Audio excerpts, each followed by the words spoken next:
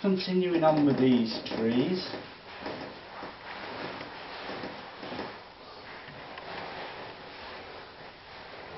Put one in there.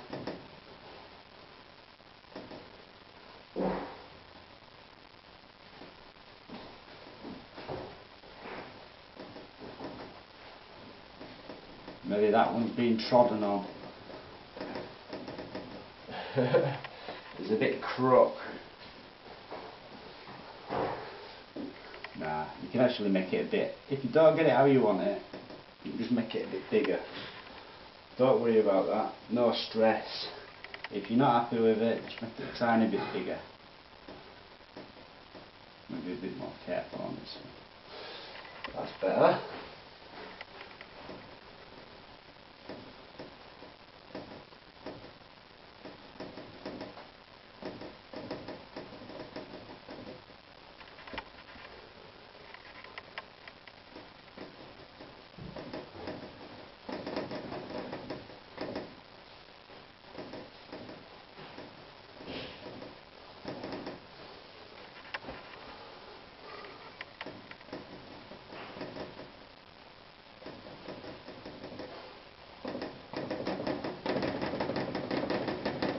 Bash down. Now I want to leave a little gap here so that you can see a bit more of that mountain.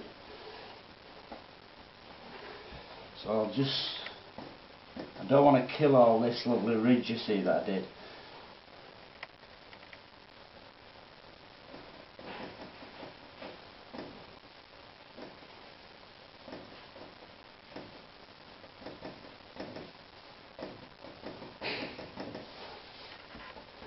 Keep reloading it regular so it keeps its colour. Otherwise it'll just mix with your liquid white and go really light in colour tone.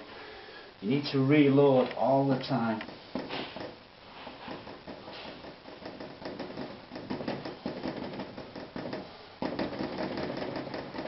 Little bit of mist just showing underneath that. And then we'll make that look like a little bush just there. Now what you can do as well same colour, identical same colour. I'm just going to come up behind here and I'm just going to pull down just like so. Create some distant evergreen trees just in there. I know I'm going to cover some of these mountains up you see but I don't want to cover them all.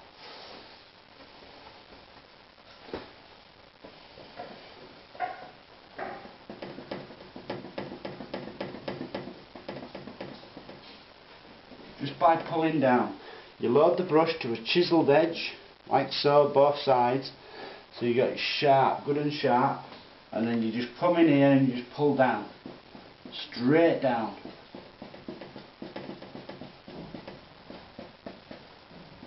There.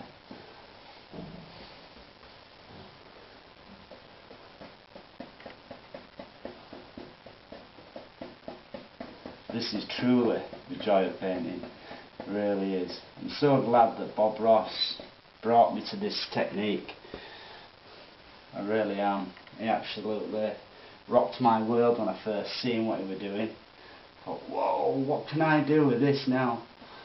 Now he's taught me how to use it and how to do these techniques. What can I do? So straight away I set off out, painting out local areas where I live, stuff like that and just learning how to use the technique for places where I live. And that's that's the key. Bob Ross always used to teach people paint what you see.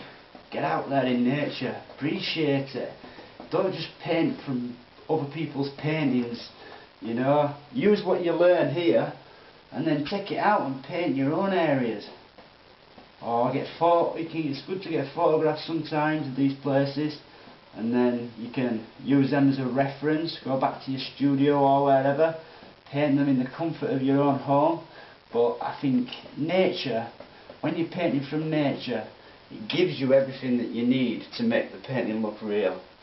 Everything. And you want to get that vibe, don't you? You want to get the vibe that you're actually there. You know?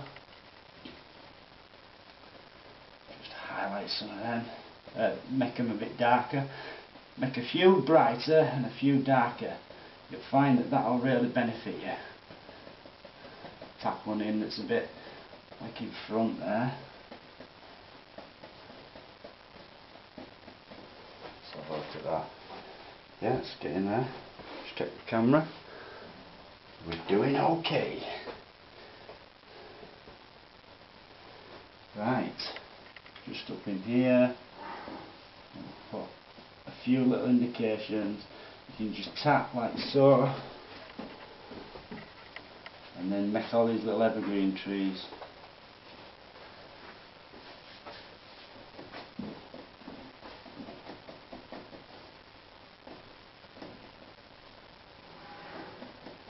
If your brush gets too overloaded with paint, you can just scrape it sometimes like so on the side. See that?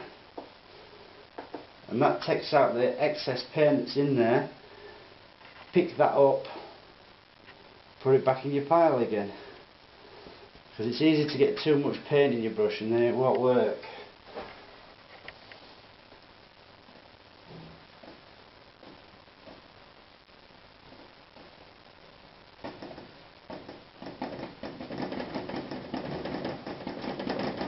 There.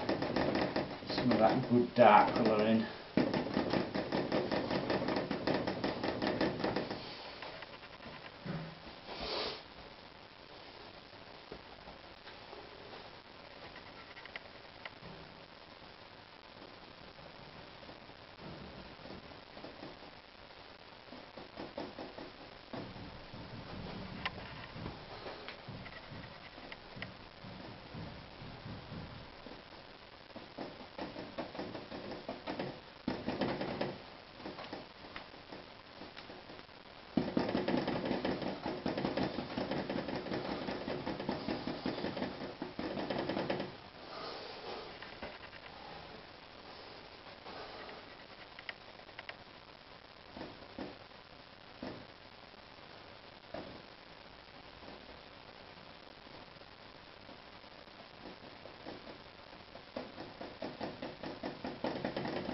Silent contemplation then.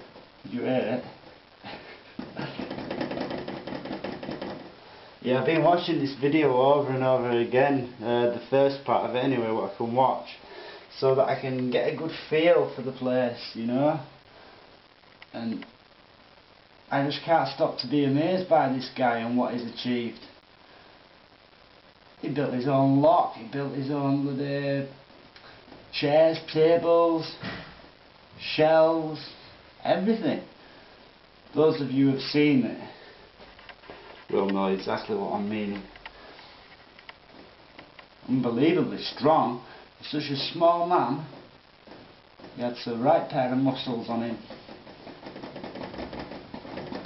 And his accent, whoa, that mental accent he's got is brilliant.